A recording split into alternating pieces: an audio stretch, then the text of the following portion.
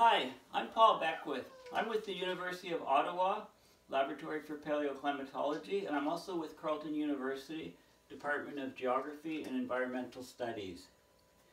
What I'm going to talk about in this video is my predictions on how the climate, the abrupt climate change that's presently occurring on our planet will play out over say the next three years till about 2020 and also for a decade after that till about 2030 or so. So it's just based on my understanding of the science of the overall system and the study that I've been doing, the research that I've been doing for the last four, um, well, four or five years I was going to say, but more like seven years. So basically what's happening right now, so we're almost in February 2017, the Arctic sea ice is not reforming properly. And the reason it's not reforming properly is because it's just too damn hot up in the uh, Arctic region. The Arctic region is getting exponential loss of snow cover over the continents in the spring. That's declining at about a rate of 22% per decade. And also the Arctic sea ice is declining at about 12% per decade. You know, we're talking about massive declines in the extent, which are areas covered with 15% or more sea ice. In the area, you know, with 100% concentration of ice, and also in the volume of ice, the thickness is going down. We don't have, uh, essentially we're out of multi-year ice in the Arctic. The ice just doesn't stick around. Multi-year ice is ice that's there for two years or longer. Basically it survives through the melt season. So there's minimal amounts of multi-year ice. The only thick ice that there is in the Arctic is the ridged ice, which is just north of the uh, Canadian archipelago. And what we saw this summer is the ice was so compromised in strength and thickness that it was more like slush and it was just going to, it just worked its way through the islands of the Canadian archipelago, um, which uh, we don't normally see because normally it's ridged up there even in the summer. The general circulation pattern when you have ice is you have cold temperatures on top of the ice, so that creates, cold air is dense, that creates a high pressure area at the surface in the Arctic. Because of the Coriolis force, that high pressure air leaves and deflects to the right in the northern hemisphere. So it sets up what's called the Beaufort gyre of winds, which then move the ice in that pattern around the Arctic basin. And you have the Transarctic drift, which carries ice out into the North Atlantic, um, the Greenland Sea up in that region. And you also, it leads to export of ice out through the Fram Strait between Greenland and Svalbard. So we're actually seeing days right now where we have losses of 100,000 square kilometers of ice, you know, in a couple days. And the, this, is, this is incredibly uh, ridiculous for this time of year. You know, the ice should just be forming and expanding. But what's happening is, is the ocean is quite warm around the ice. There's strong wave action around the ice. That wave action causes mixing we have fresh water on the surface from the ice that melted in the summer. And that fresh water is very cold, but it's uh, lighter than warmer water, which is very salty down below. So the wave action, the strong wave action, causes the vertical mixing and we have areas over the East Siberian Arctic Shelf where the water temperature in the water column right down to the 50 to 100 meter depth of that shelf is very, very warm. And that warm water is causing increasing levels of methane emissions in the Arctic. You know, methane has an enormous greenhouse gas potential. On a few year time scale, it's 150, 200 times that of CO2, the global, the GWP or global warming potential. Um, on a 10 year time scale, it's 86 times, and on a 100 year time scale, it's 34 times. And that number is always quoted wrong in uh, the media. They always say it's, you know, methane's 20 or 24 or 25 times stronger at warming than CO2. They always get that number wrong. So what happens as we lose more and more sea ice and more and more snow cover exponentially? We're going to get a blue get a blue ocean event, and that's where we have essentially no ice in the Arctic Ocean. And when that happens, for the first time, within, you know, say probably within three years, you know, this summer, you know, the summer of 2017 will be very interesting, very risky. Then um, what's going to happen is the oceans will be a lot warmer. Now, the ocean, the, the, um, the ice acts as a strong sink of heat. It takes that heat to melt the ice. So uh, the amount of heat that melts a kilogram of sea ice actually will heat up that water, an equivalent kilogram of water, to 80 degrees Celsius. So what happens is the ice keeps the Arctic cold, we lose the ice, the temperature is going to skyrocket. It's already, you know, for long periods of time, 20 degrees Celsius warmer than normal. Now, how does that affect the rest of the planet? Well, what happens in the Arctic doesn't stay in the Arctic. So first of all, when we lose the sea ice and we have open water, then uh, because the water is warmer in the fall, the land will cool down, the water is warm, there's that warm air rises, the, hot, the air above the water is warm, warm air rises, creates a low pressure area at the surface.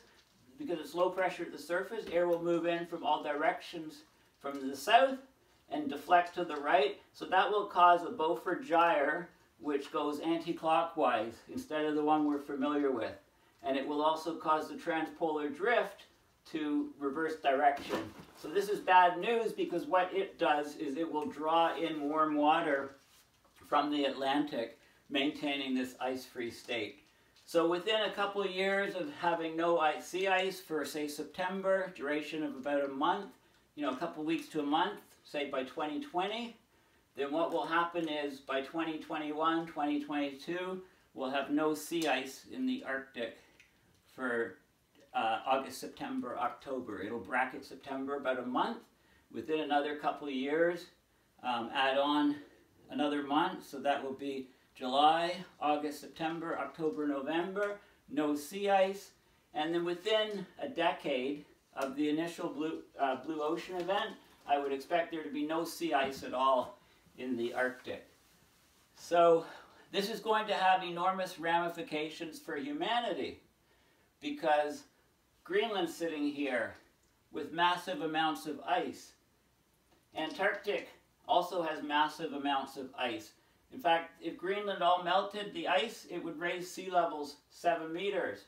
Antarctic, West Antarctic ice sheet, another 5 meters. East Antarctic ice sheet would bring the total uh, sea level rise on the globe to about 67, 70 meters. So we're talking about 230 feet. How quickly would that happen? All the total melt? Well, how much, you know, if you look at the melt rates from Greenland and Antarctica, they're rising, they're doubling about every seven years or so. And that's happened, oh, that's held constant, that doubling period has been maintained over, say, three doubling periods, which is about the last 20 years. If that trend is continuing, when we have all every reason to expect it will, then it will basically you can just do the do the math, and we're talking about about a seven meter sea level rise by 2070. And I did a separate video on that on, on that particular um, thing several years ago. Like it's just common sense. It's physics, you know, of the climate system. So if that happened in 2077 meters, back off seven years, so 2063 would be a sea level rise of about three and a half meters. Uh, back off another seven years, so uh, 2056, that would be a rise of about one and three quarter meters. And back off, you know, another seven years to 2049, and we're talking about almost a meter of sea level rise. Now, that's that's that that's the numbers I came up with a couple years ago. Now, John Kerry was in Marrakesh, the COP, uh, the, the, the last COP, the COP 22, I guess, and uh, I wasn't there. Um, I was in Paris for the previous year the 2016 uh, COP, where the agreement was to keep global average temperatures to 2 degrees uh, above pre-industrial, and 1.5 was the aspiration. You know, how the heck are we going to do that when 2016, the you know, some months in 2016 were already 1.5 degrees above the 1880 to 1910 average. But you need to add another 0.3 to go back to 1750 to compare apples to apples. So in that case, uh, that we already had 1.8 degrees Celsius above pre-industrial beginning of beginning of 2016. And then that dropped off a bit to only being 1.6 degrees above pre-industrial uh, for the rest of the year. I mean, the average was was uh, huge, you know, you know, 1.5 or so. So how, how we can maintain those numbers, I, I you know, it's a, like a pipe dream. It's a fairy tale. So, so basically, you know, the cats love these videos. They get lots of food here. You know, they're not too chunky, too fat. So, you know, no, no animals are harmed in the filming of this video. You know, they actually, you know, rather enjoy it. I haven't used them as props. I expect this video to go viral. Please help me out. You know, I have cats in it. I'm trying everything to get the message out on, on uh, climate change. So, so sea level rise are going to rapid sea levels are going to rapidly rise. Now we're already seeing a warm, uh, or sorry, a cold blob here south of Greenland. You know, in the summers from the melt water, and then as the Gulf Stream comes up, you know, it tries to cut through and stuff. We've seen the Gulf Stream behaving strange. We've seen the jet streams slowing down. So the jet streams, the we've got the equatorial temperatures not changing too much. We've got the Arctic warming like crazy because we're losing sea ice and snow cover, warming five to eight times faster than the average. This lowers the temperature difference between the Arctic and the equator. Now, now heat moves from the equator, which is very hot, to the cold poles, deflects to the right in the northern hemisphere and forms these jet streams. So these jet streams have a wave-like motion around the planet. Now, as the, and of course during the summer, northern hemisphere summer, it gets warmer, the sun's up higher, so the jet streams uh, change location. Um, and then in the winter, it gets colder up there, they tighten up, right? The speed depends on the season as well.